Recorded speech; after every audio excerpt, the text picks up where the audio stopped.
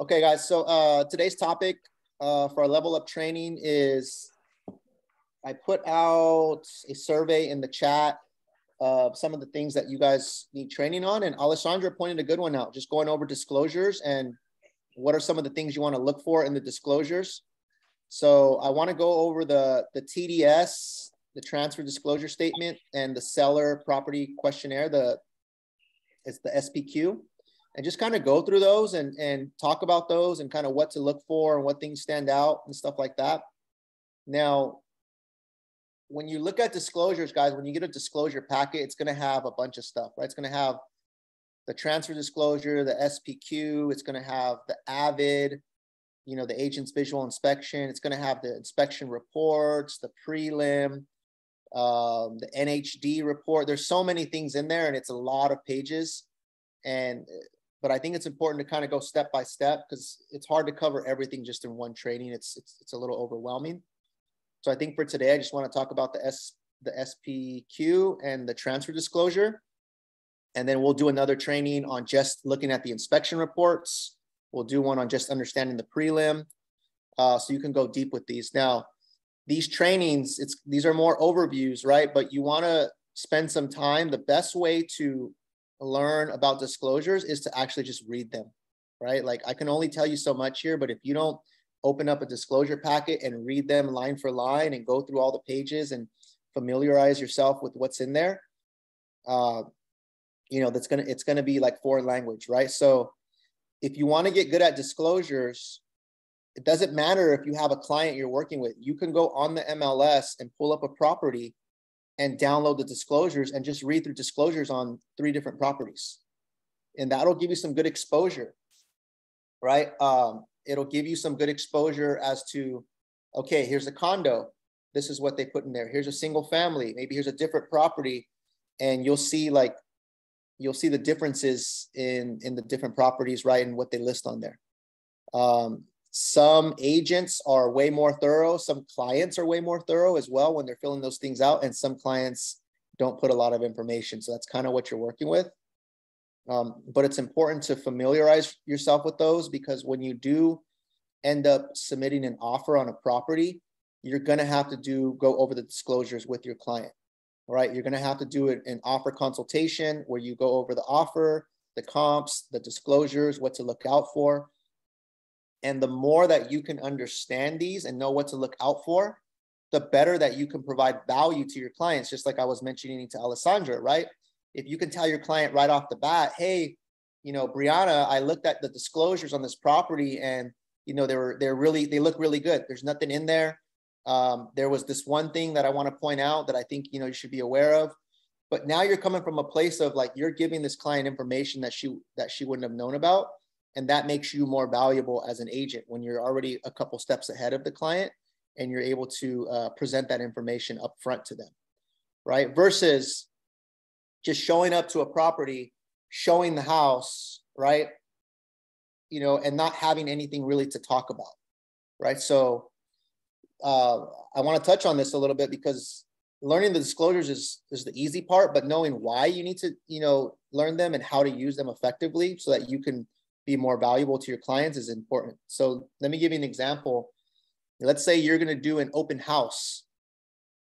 Looking at the disclosures beforehand and going through all the disclosures, the reports, the inspections, researching the neighborhood, learning the comps, learning what also what's for sale in that neighborhood, what other properties have sold recently, all those things is going to those that's going to be ammunition for when clients are coming in the door and you're able to display your value to them versus just showing up the day of. Maybe this is a property you've never been to. Maybe it's someone else's listing and you're kind of coming in blind. Well, how do you expect to be really valuable at that open house to the clients that are walking in? So it starts with preparation, right? Doing your homework ahead of time so that you can be that much more effective at the open house. Same thing when you're going on showings, right? When you're going to show properties, pull up the disclosures, take a quick glance at them, look at the inspection reports, look at the summary. There's a summary page usually on the inspection reports. You can look over the transfer disclosure, you know, really quickly, and you can now have some notes that you write down. So when you show this home, you can start pointing these things out to the client while you're in the showing. right? Um, I mentioned before that to succeed in today's market, it requires you to step your game up, right? It requires you to go from, you know, amateur or entry level agent to elite agent, right? To advisor, to consultant, those type of, you know, titles and having that mentality that I need to bring a tremendous amount of value to clients during this time because there is a lot of uncertainty, right? There's a lot of uncertainty with the market, there's a lot of uncertainty in the news. So the more that you can reassure clients on why this is a good deal, why this is a good property, why the disclosures are clean, why the inspection reports look good, all those things, it helps create certainty for your client, right? So when it's time to get them to move forward to write an offer, you've made them feel so great about the process that there's less hurdles that you got to tackle. Does that make sense, guys? Um, so I always like training you guys to understand the mindset behind it, right? Because when you understand the mindset, then you'll see why it's important. Um, let me see, someone put a note. Carla, also, if the client is working with another agent, the disclosures are your armor to win. That's a great point that you made, uh, Carla, because most agents don't do this. Most agents just show up, hey, let's go see a house. They show up, meet them at the property. They didn't do any research. They kind of wing it, right? And when you're that agent that did did the homework, that did all these things, and you go meet them, and then they go meet another agent who didn't do any of that, it's like two different experiences, right? They're like, man, when I met Alessandra, like, dude, she was on it. Like, she had all this information. She told me all these little details about the property, about the neighborhood, about the disclosures, the inspections. And then when I met this other guy, like it seemed like I knew more about the property than him, you know, like he he just turned the lights on and let me walk through the property and open the door. So you don't want to be just a door opener, right? You want to be someone that the client sees as uh, a resource, the knowledgeable person, the person of value that I should go work with. Um, Carlos said, put yourself in their shoes. Who would you work for the most? right? The one that's the most detailed or the person who's just winging it? Absolutely, right? And here's the great thing, guys, is that most agents, a high percentage of them just wing it. Let me say that one more time. Most agents out there, they just wing it because they're not trained in a lot of these things that we're talking about. They're not trained on, you know, going deep on the sales stuff and the mindset and all that. They just get their license and then they go out there and try to figure things out, right? So these little things, although to you guys, it may not be like magic, right? But it's these little things that make you a better agent, right? A more skilled person. And we're, we're fighting for inches a lot of times, right? Sometimes they're, they're interviewing multiple agents, whether it's to buy or sell. And it's these little small things that give you that edge, that give you that advantage, right? And those compound and pay off over time right? So uh, I want you to understand the mindset behind it.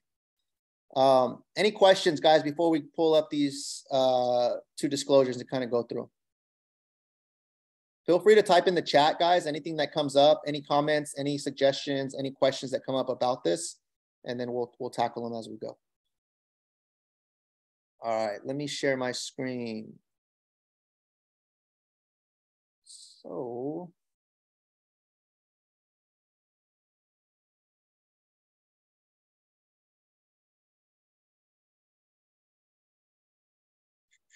All right, can you guys see my screen? Everyone see my screen? Give me a thumbs up. All right, cool. Uh, okay, so first one we're gonna go through, guys, is the real estate transfer disclosure. Um, there's two main disclosures that, the, that a seller has to fill out, right? So anytime they're gonna sell a property, they have to fill out the real estate transfer disclosure, which is known as the TDS for short, right? You'll hear TDS, TDS, transfer disclosure statement. And then there's the SPQ, which is the seller property questionnaire. And essentially what these are, number one, they're, they're required by the state of California. If you sell a property, you have to disclose what you know about the property. Now, let me uh, emphasize they have to disclose what they know about the property, right? Because there could be things going on with the property that they don't know about for example, let's say like there's a leak inside the wall and they don't know there's a pipe leaking in the wall. Um, they wouldn't be able to disclose that if they don't know about that, right? So that's the part where it's a little tricky because there's going to be some things that are going on with properties that the seller just doesn't know about, right? So it's to the best of their knowledge that they have to disclose these things and fill out these questionnaires. Um, and you're going to get the transfer disclosure is going to go through certain points, and we're going to go through these one by one, and then we'll go ahead and ask any questions. And feel free to stop me, guys, at any time. Feel free to raise your hand or feel free to uh, type a question in the chat so that we can make sure everyone understands these. Um, so first one here, guys, uh, transfer disclosure statement. You'll see it's they're going to fill out the property address at the top. And this statement is a disclosure of the condition of the above property as of this date, right? So whatever date they filled it out, they're saying as of this date, this is what I know. Um, it is not a warranty of any kind by the sellers or any agents representing any principals and is not substitute for any inspections or warranties, right? So it's not a warranty. They're not guaranteeing, but they're saying, hey, this is to the best of my knowledge what I know. It doesn't excuse the buyer from doing their own research. If they want to do further inspections, if there's something on here where they're like, hey, that doesn't sound too clear, I want to get an inspection or send a contractor out there, then that's what the client should do. Um, it's going to have a box right here if there's any inspection reports that are attached to this, right? So a lot of times the sellers will do inspections up front and they'll say, hey, in addition to this, we did inspections and we're attaching them to this transfer disclosure. Um, there will be some cases where the seller is exempt from filling these out. So for example, if it's a trust, uh, let's say like someone died and then like I inherited the property and now I'm selling this property that I inherited. Well, I never lived in the property. The person that lived there passed away. So I don't know the answers to any of these questions. So a lot of times when it's a trust sale or a probate sale, or if it's part of like an inheritance, you'll see a lot of times these are exempt, which means they don't have to fill them out. So you're kind of left to do your own homework and do your own inspections and stuff like that. Now, this first part they're going to check this box that says seller is or seller is not occupying the property, right? And that's important too, because if it, let's say it's a rental property, if they've never occupied it for years or if it's always been a rental, there may be limited knowledge on what they know, right? Versus if they have lived in the property, then they're going to know more stuff about it. This whole first section right here is they're checking what is in the property, what comes with the property to the best of their knowledge. Now, this is important because if they check something and they say, for example, uh, they check this box that says range. Yeah, like the property has a range and it has an oven. And then later on, there's no range and there's no oven when you're going to buy the property. Well, now we have an issue because they said this includes that. And then when you go to close the deal, there's no pro- there's no range or oven in there the buyer can come back and say, hey, this is what you disclosed. This is what you said came with the property. So that needs to be replaced or that needs to be put in there. Um, so they're just going to go down the line, right? Is there a range? Is there an oven, microwave, dishwasher, trash compactor, rain gutters? And they're going to check every box. Is there air conditioning, sprinklers? Is there a garage? Is it attached? Is it not attached? Are there any garage door openers? This is sometimes where people get in trouble. Like, yeah, there's two garage door openers, and then at the end of the sale, you can't find the garage door openers, and you're like, hey, you guys said they were included. I need you to produce two garage door openers because we bought the property based off what you disclosed to us. Right? Is there a pool? Does it come with a heater? Is it gas, solar, electric? Right? Where does the water come from? Is it a city water or is it like, is this a rural property where there's a well? Um, window screens, those are things too. Let's say they they check the box that there's screens on all the windows and then come to find out there's no screens on the windows right now you might have you know a dispute there um, they're going to talk about exhaust fans so like exhaust fans are like uh, fans like in the bathrooms or like in the laundry that you know sucks up the air or the moisture are there fans um, the fireplace right is there a fireplace where is it at the roof. This is one that always kind of comes up because sometimes people don't know how long the roof has been there. Um, so they'll disclose what kind of roof it is, and then they'll put approximately uh, what the age of the roof is. And then right here, this is an important one. This last question on this page. To the best of the seller's knowledge, are any of the following not in operating condition? Yes or no? Right. So let's say you do have a microwave that's built in, but it's not working.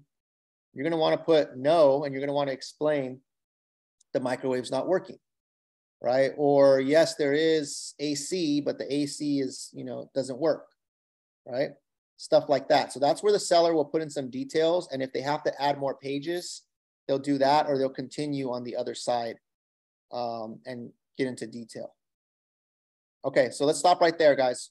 Any questions about this first part? Questions, comments, concerns? Pretty straightforward, right? Okay. Second page. Are you, the seller, aware of any significant defects or malfunctions of the following? Any of the walls, the ceilings, the floors, uh, insulation, the roof, the windows, the doors, the foundations, driveways, sidewalks, other structural components, the plumbing, electrical system. So if they check yes, anytime there's a yes that's checked, there has to be an explanation, right? If any of the above checked, explain. They can put additional sheets if they need more room to explain. Now, the, we got to remember, guys, that the seller is not always an expert, right? They can say, hey, yeah, the roof is leaking, but you don't know to what extent the roof is leaking, right? So that's why a lot of times you're going to want to look at the inspection reports to see, okay, they checked yes here, but let's look at the report. And what was that? Uh, please yourself. You guys just jumped on um, yeah, so they're gonna wanna they're gonna wanna look at the inspection reports to kind of go with this information here, right? If they say the foundation, they say they checked foundation, yeah, there's a crack in the foundation. Well, a foundation is a major issue, so you're probably going to want to look at inspection reports to see to what extent the foundation is is you know messed up or cracked. A cracked foundation doesn't always mean that the home's not livable, right? So there's different levels to it, right? So you're going to want to find out more details. So if you're representing the seller, you want to make sure the seller lists everything because that is also their uh, CYA, right? Cover your ass. The more stuff you list, the more that you disclose and be upfront with the buyers, then they can't come back later and say, "Hey, you didn't you didn't tell me about this, or you knew about this and you didn't tell me." Same thing with the buyer, right? If you're if you're the buyer's agent and you're looking through these things, well, you're going to want to you know, do some due diligence for the client, right? You're gonna, if it says the foundation's cracked or there's some issue, you're probably gonna want to look at the inspection reports and then be able to give the client a, briefing on on you know to what extent or what's going on right there. Right, so that they're not surprised. Um, any questions, guys, on what's required for the seller to disclose right here in these in these areas? Okay. Uh, I know this isn't the fun part, guys, the sexy part, but it's definitely important, right? It's important because the last thing you want someone to do is buy a property and not know what they're getting themselves into, right? Or sell a property, help a seller sell their property, and they fail to disclose something, and the buyer comes back and sues them, right? So there are lawsuits that can happen, guys. Like if the biggest lawsuit that happens with real estate all the time is failure to disclose information, right? You knew about something, you didn't check it on there, you didn't include it, the buyer comes back and sues you, and there's or there's some sort of dispute over the disclosures. Um, okay, so this part right here, are you aware of any of the following? So any substances, materials, lead-based paint, asbestos, mold, in the property, anything like that. They have to, these are all yes or no. Uh, features shared in common, right? Most homes have shared fences. So there's a fence in between the house and there's a house on each side. So nine times out of 10, this is gonna say yes. And then they'll put, they'll put an explanation. Uh, any encroachments, easements, or similar matters that may affect your interest in the property. So uh, an encroachment or an easement, that could be like there's a power line that runs through the property that belongs to PG&E, right? So that encroaches on your property. Or there's an easement where um, there's a road that goes through the property or an alleyway or something where people have to be able to drive through, right? So people have access to to pass through your property. So anything like that, right? That that would affect um, the interest in the property. Um, number four, right here, room addition, structural modifications, or any alterations or repaired made without necessary permits. This one right here, guys, is almost always yes, right? Because people do repairs, they do modifications, stuff like that without permits, right? Because technically you're supposed to get a permit for anything you do to property. Like if you change windows, if you change the kitchen, you're supposed to get permits for this stuff. But a lot of people don't get permits for these things. So a lot of times you'll see a yes, but it doesn't necessarily mean it's a bad thing. It just means, you know, they could have hired a contractor or a handyman, but they didn't go through with the permits. Now, where you're going to want to be careful is if they did anything structurally, right? Like if they removed walls or if they added a room or if they changed the structure of a property and it wasn't permitted, because then we don't know if it was done to code or if it was done correctly, where that could become like a safety issue, right? So anytime you see yes, you're going to want to investigate a little bit more to see if it's something that you should be concerned about or not. And that goes to question number five any additions, modifications, or alterations not in compliance with building codes. So sometimes you can have someone that added a back room and like you could totally tell like it wasn't to code, right? It looks funky. It wasn't like it just looks like they they did it on the weekend by themselves or something like that. And that's where you want to get some more clarification on those things. All right. Questions or comments, guys?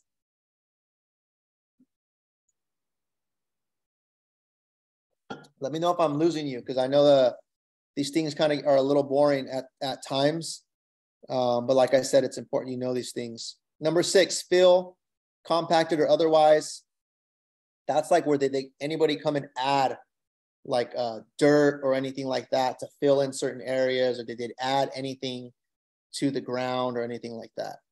Um, any settling, slippage, drainage problems, soil problems. Um, right? Let's say like when it rains, like there's a drainage issue. There's always puddles in the backyard because it's not draining properly, right? That's something that you want to know about. Any major damage from fires, earthquakes, landslides, any zoning violations, right? Maybe there's something with the zoning where it was done illegally or not to code. Any neighborhood noise problems or nuisances. Um, most homes have noise, right? Like if there's kids that play outside, if there's a school next door, down the street, right? So it just depends to what extent. If you live by an airport, you got the airplanes flying over all the time, you might see that on there. Um, it's just if it's something where it's a common, you know, noise or noise problem or nuisance, then they list it there. Um, CC&Rs other deed restrictions or obligations. Who knows what CC&Rs mean? Anybody knows what those means? I can explain that.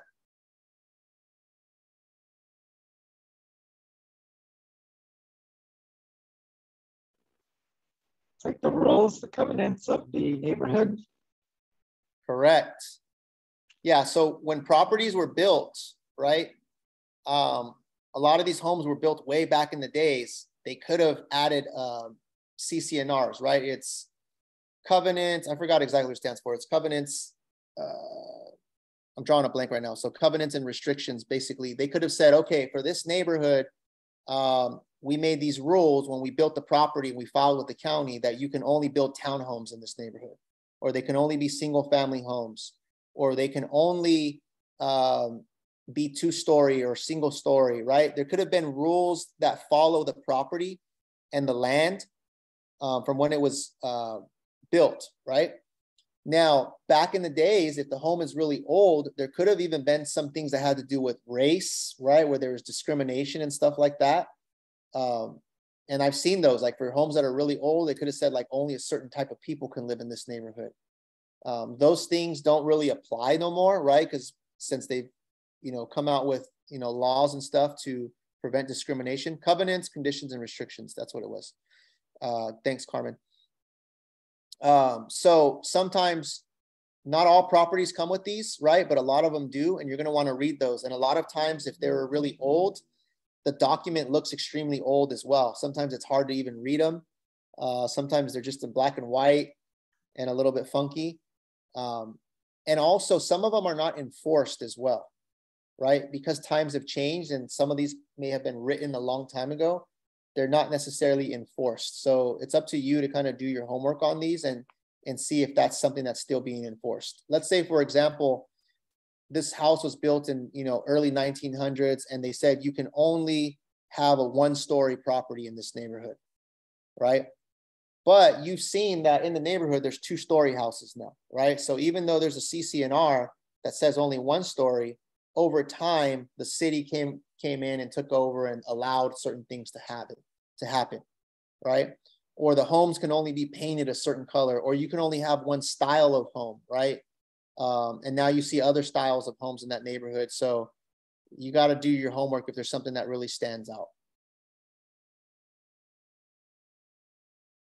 Um, 13, homeowners association, right? So if it's a condo, townhouse, it's going to have a homeowners association. So that's just saying, are there is there an association that manages or has authority over the property? And if they check yes, then that means there's an HOA.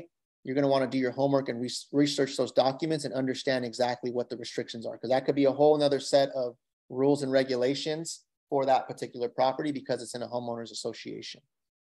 Uh, any common areas such as pools, tennis courts, walkways, anything co-owned, you'll see that, you know, in condos, townhouses, any sort of properties that have like a complex. Um, number 15, any notices of abatement or citations against the property, right? So there could be like the city um, gave a citation toward to the landlord or to the owner. Maybe there's something that's unpermitted.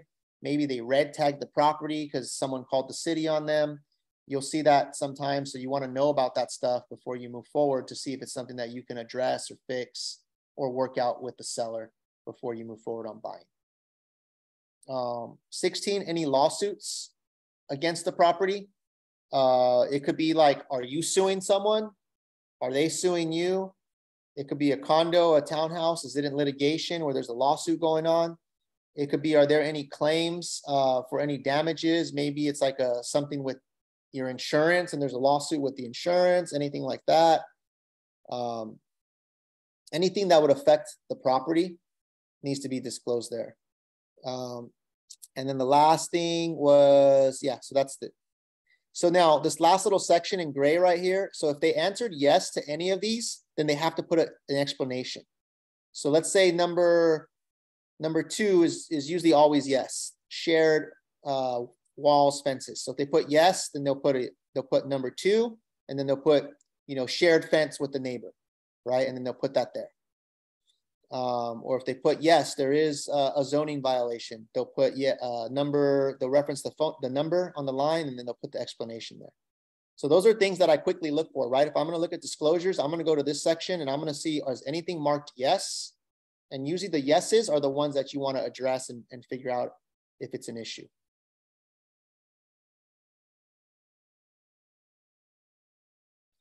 Um, these last ones, um, D1 and 2, seller certifies that the property as of the close of escrow will be in compliance with health and safety codes, which has to do with smoke detectors, uh, strapping the water heater and stuff like that. So it's just saying that the, the seller is saying that those will be in compliance. And then they're going to sign these. And the agent is required to do a an avid the visual inspection where the agent goes out there and walks the property and writes any notes down of anything he sees and that is usually going to be attached to this document as well. So you can see the agent's notes on the property. All right guys that is the tds a lot of info right? A lot of information. Um, not the funnest part, right? But the necessary part. The main thing, guys, is if you're gonna, you know, write an offer or if you're gonna go show a property, like pull these up and just scan them, right? Scan through them real quick and see if there's any yeses, right? Because anything they check yes is gonna be the things that stand out, right? Those are the be the things that they're saying, yes, there is this thing going on with the property. If they're all no, no, no, no, and there's not no explanations, no nothing, then the seller is telling you that everything's clean on the property. There's nothing that stands out. If there's any yeses, those are the ones you quickly want to go to and understand what's going on. And those are things you can uh, point out to the client, or as you're walking the property, you can verify, okay, they checked yes here, there's a fence. Okay, yeah, I see the fence that they're talking about.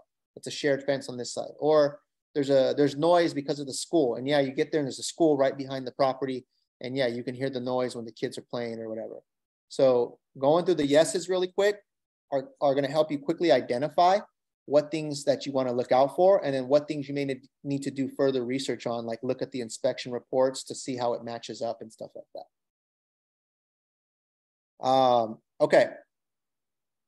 1212, we're going to go over the SPQ. And that's it. That's enough for today, guys. A lot of stuff. Uh,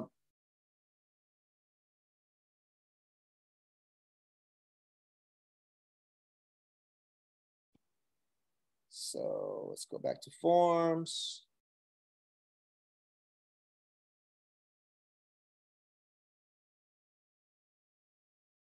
Oh, where are my documents? Here we go. Seller property questionnaire. Um, so this is part two of the disclosure, right? So every seller has to fill this out.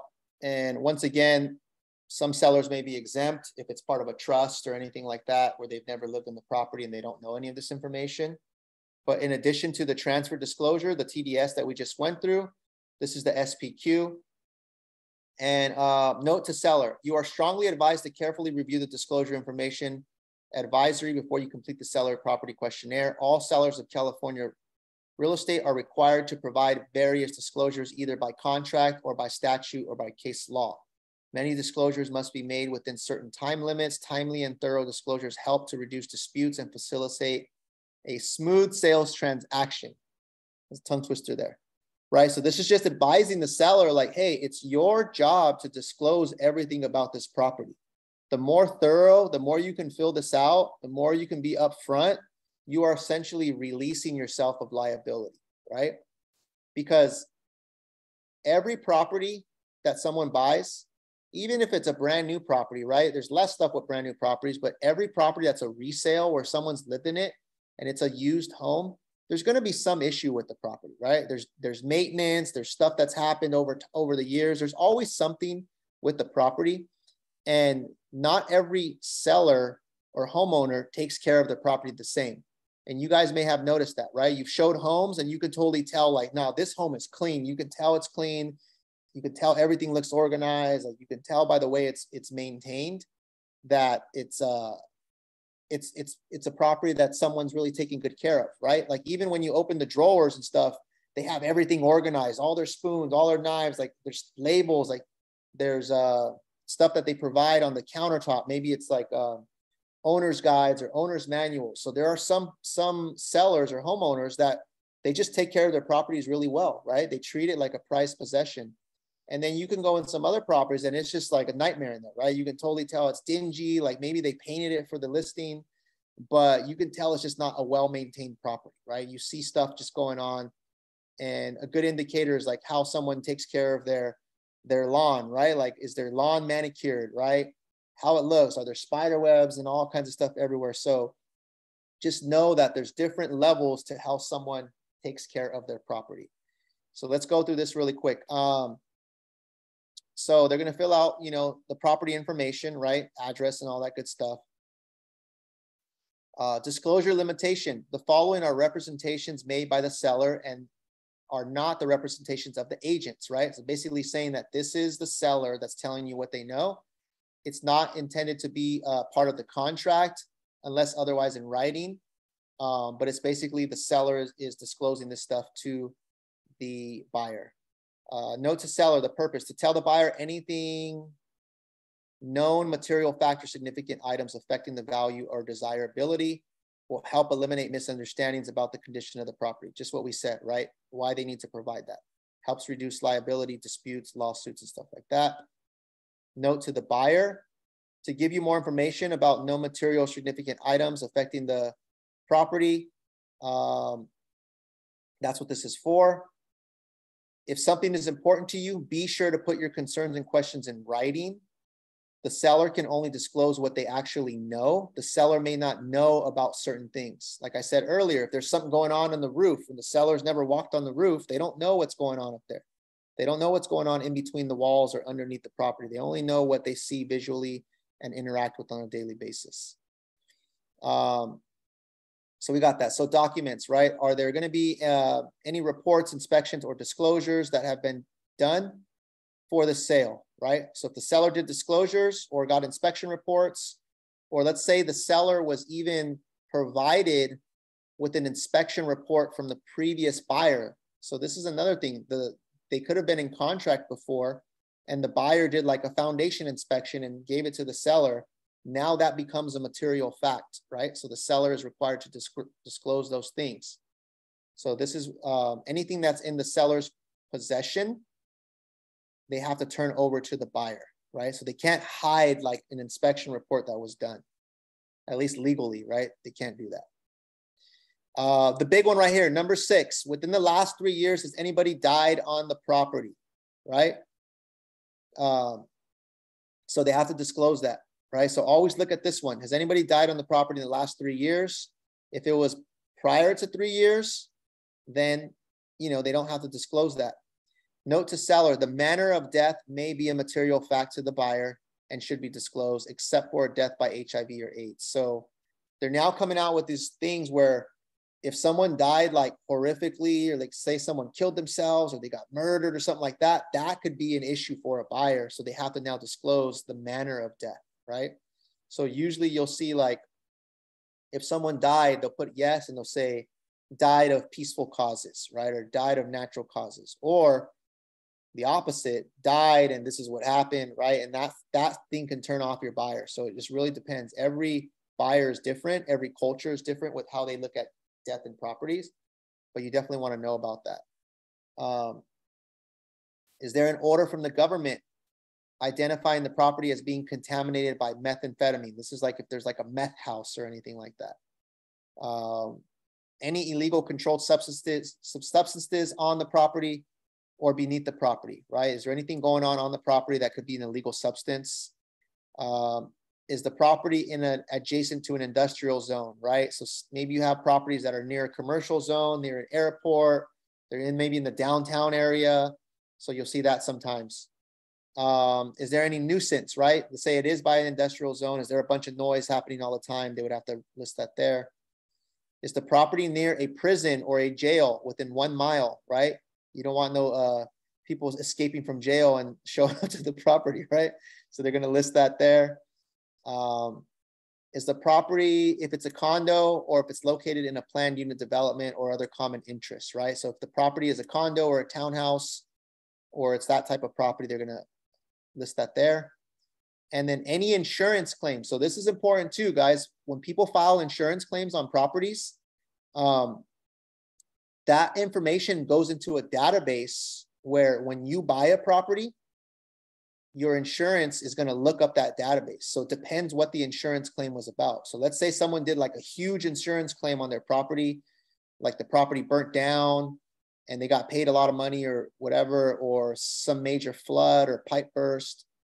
And then you go to buy this property and you try to get insurance and your insurance does, doesn't want to uh, insure the property because there was a major claim on this property within the last five years. That can affect someone's ability to, to want or desirability to buy the property, right? So if it's a small insurance claim, not a big deal. But if it's something big, you know, then that's where that can be uh, something that the buyer is going to want to be going to want to know about, right?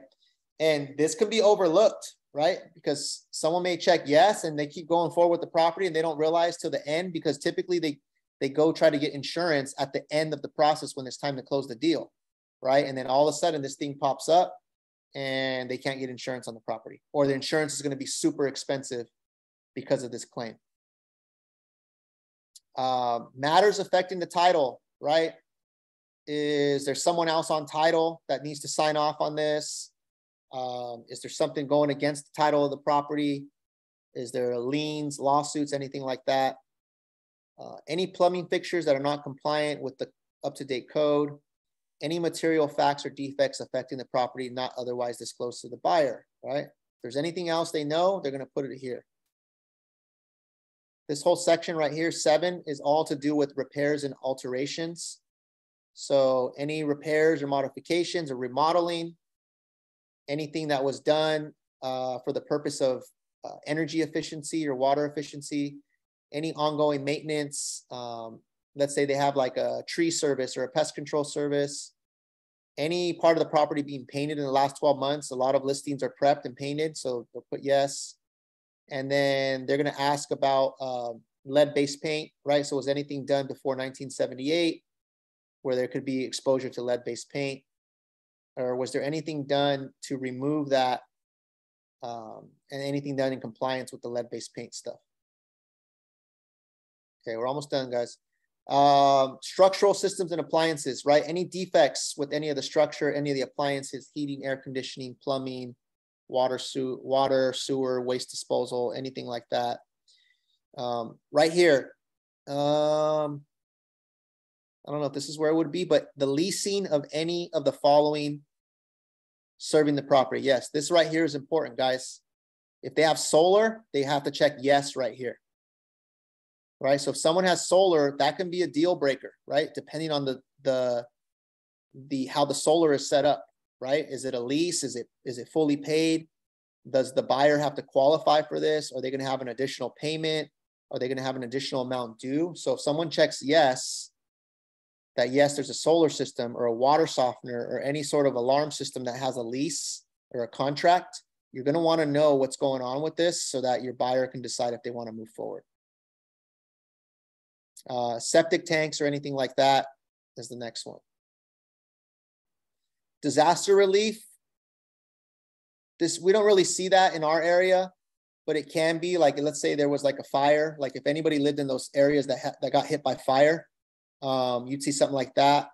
Or if there's like a flood or earthquake anything like that where there was some sort of disaster relief or insurance settlement um, they would note that there. Number 10 is all about water related mold issues. Are you related you know are you aware of any leaks mold water issues anything like that pets and animals on the property right? Are there any pets that live there? Is there any urine or stains or smell, anything like that? Or was any of that stuff treated?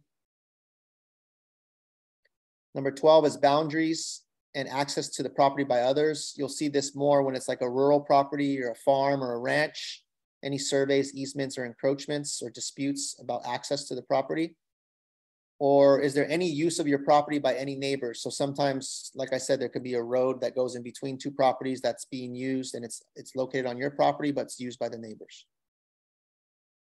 Uh, number 13 is landscaping, pool, and spa. So there's more asking questions about um, any diseases affecting the plants, any sprinklers, are they automatic, are they not? Is there a pool heater, is there a spa heater? Are there any leaks or anything in the, the plumbing, the drainage, the pool? Anything like that. The water pump systems, anything like that. 14 is all about condos, condos, common interest developments, right? So just going into detail about the condo. Are there any restrictions? Are there any improvements that are being made? Are there any pending lawsuits? So this is important right here. So if there's a lawsuit against the condo complex or an HOA, that will affect your financing, right? So if someone checks yes right here that there's a current litigation, you need to find out immediately uh, and talk to your lender before you move forward on this property. Because I've seen deals get killed because of that, right? Or there's gonna it's gonna reduce who can lend on that property. Uh, number 15 is all about title ownership, any liens or legal claims. So is there anybody else on title that needs to sign? Are there any leases or anything related to the property? Maybe as part of it's being rented and there's a lease any lawsuits, past or present, um, adjoining walls, fences, anything like that. Some of these questions are from the TDS as well, similar questions. Encroachments, easements, private transfers, pace lien, any lien on the property to pay for something. Like sometimes people get a, um, they get their roof done and then they get a, le- a lease from the company or they get like a loan from the company for a remodeling for their roof or their windows or anything that needs to be paid. Um, any cost of any alteration that the property being paid by an assessment on the property tax bill. So sometimes there can be something to do with an improvement that has to be done that's related to the property tax bill. So they want to put that there. 16 is all about, again, guys, going back to neighborhood nuisance. So you see some of this stuff is redundant, right? It's the same thing on the TDS. There's anything, any neighborhood noise, nuisance, trains, anything that's going to affect the property like that. Any disputes with any neighbors, anything like that. Let's say you had a crazy neighbor. Um, and that's something that is a big deal. They're probably going to put that there anything with the government, guys. This section is all about is there any sort of interference by the government? Is the government doing anything to the area or to the property or building nearby that can affect the desirability of the property? Right? They could be with something to do with the zoning. It could be they're building something next door. Um, I know, like in my neighbor or my area, they recently built like homeless encampments. Those uh, like little areas where homeless people can live. There's like little developments that they live that they built so something like that can affect the desirability, right?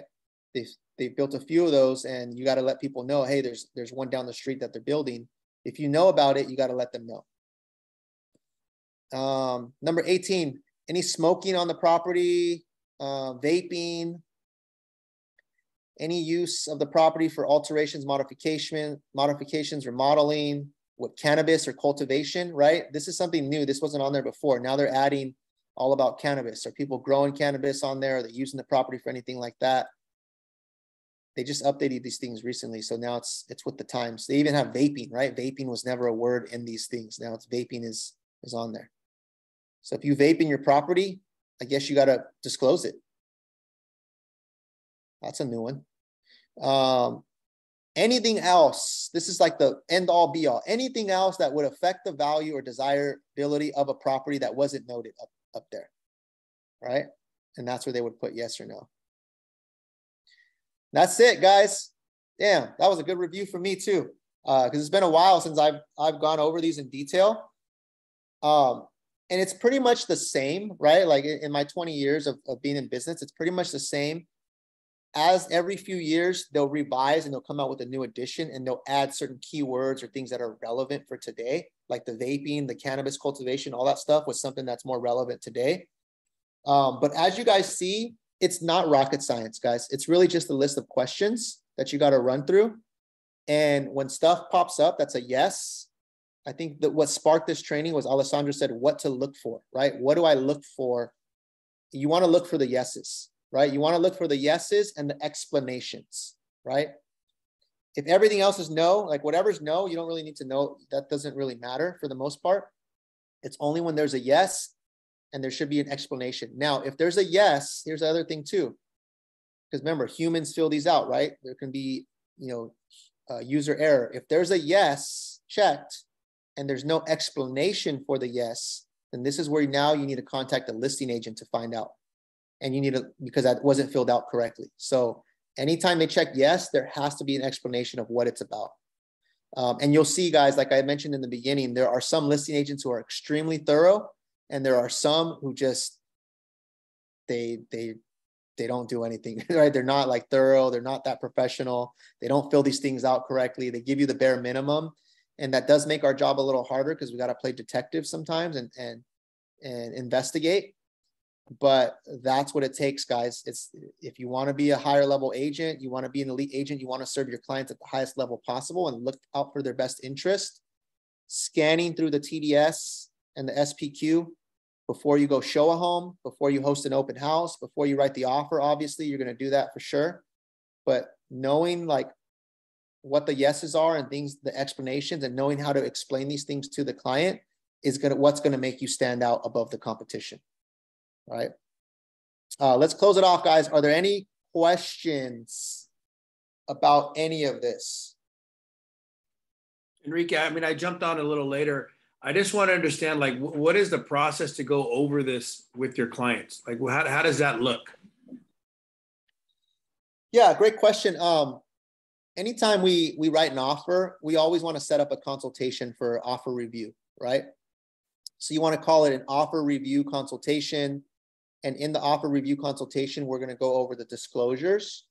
We're going to go over the contract, the purchase agreement. We're going to go over the comps, and it's usually going to be a lengthy, a lengthy uh, consultation, guys. It's going to be probably at least an hour, right? Because as you see, I only went over two documents in detail.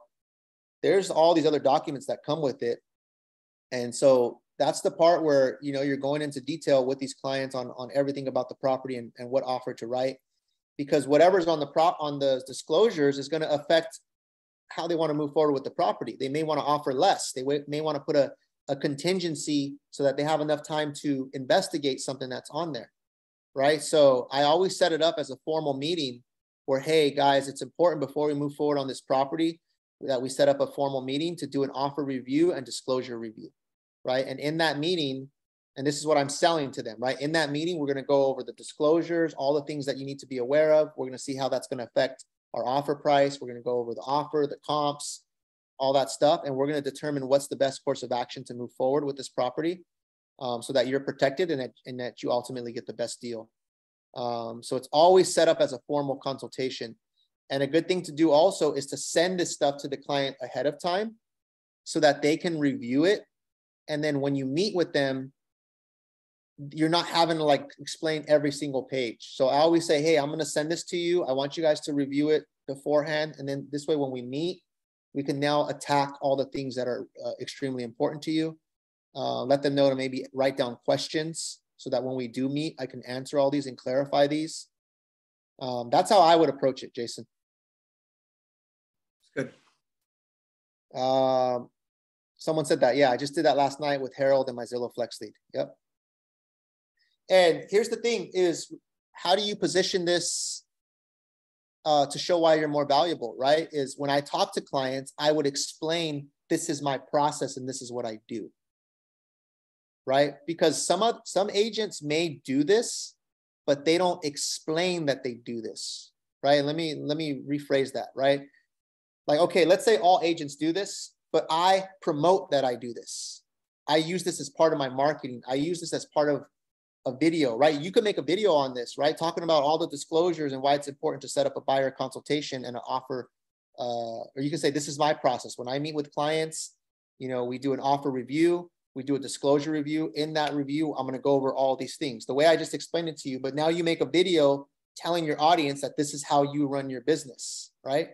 So there's one thing to do something, but then there's one thing to pack, package it up and use that to market yourself. Do you guys see the difference in that? Does that make sense? Right? Because not don't assume that everyone knows what you do. And that's that's a big mistake that a lot of agents make. They just assume like, oh yeah, the client knows I'm going to do this, right? No, you actually have to articulate this, you have to explain it, and you have to break it down. This is the process, this is what I do, this is why you want to meet with me. This is how I serve my clients. This is how I protect my clients' interests. This is why this type of meeting is important right? This is why I'm a more valuable agent. Because if if you do that and then the other agent they meet with never even talks about this, even though he may do this, you automatically look better because you've marketed it and you've presented how you do your process. Right? So always think from from a standpoint of how do I market everything that I do? Right? How do I package it up and show why I'm valuable to clients? And like Alessandra, when like you have that client where you said they're interviewing two other agents, right, or another agent, that's a perfect example of what you can do, right? Hey, Brianna, when we meet, this is how I, this is my process. This is what I do with my clients, right? And you break it all down. And then Brianna's like, man, that other guy didn't even mention any of this. He's not even available, right? And then, and you show her properties and you, you know, handpick properties and you show her discounted home and you show all those things. Now the score starts going Alessandra, Alessandra, and the other guy just starts looking like, eh, he's kind of weak, right? So you want to know how to win clients over? Explain your process thoroughly, right? Use it, use it to market yourself. Make videos about this. Use this as content. Who wants to commit to making a video about this? Anybody? Is there anybody who will commit today? Not ex- not explaining in detail like I did, but just explaining like this is my process this is what i do right summarizing it in like a one minute hey when i meet with clients when they're getting ready to write an offer this is this is what I do with my clients, right? Super easy video, right? You're just basically telling them this is what I do. I do an offer review and just give them some of the bullet points on why it's important. And that could be a great way to promote yourself and differentiate yourself. Who is down? Raise your hand. If you're down, they'll make a video about this, right? Put out a video. Just one. I need more than a day, but I mean, who needs more than a day? Miles? All right, Miles, unmute yourself, bro. I got to call you out right here. This is for your growth right here. Why do you need more than a day? I really don't. I just have to write some stuff down and then just go over it, but I can do it. Okay. Here's the thing. I'm gonna stop recording, right? Because we're now getting and give me two minutes, guys, and we're done. Um,